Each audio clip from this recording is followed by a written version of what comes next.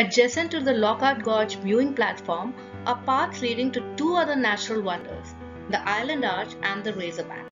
We only had time to see one of these and based on the driver guide's recommendation, we opted to explore the Razorback.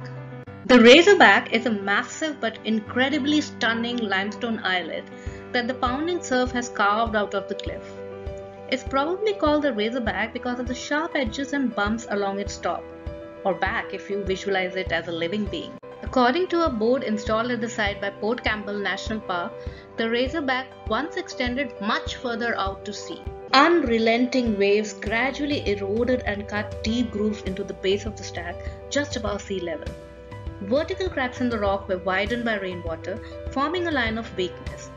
Huge blocks of rock then collapsed into the sea, leaving the Razorback that we can see today. The Razorback is just a 10 to 12 minute walk from the car park along a wheelchair accessible path.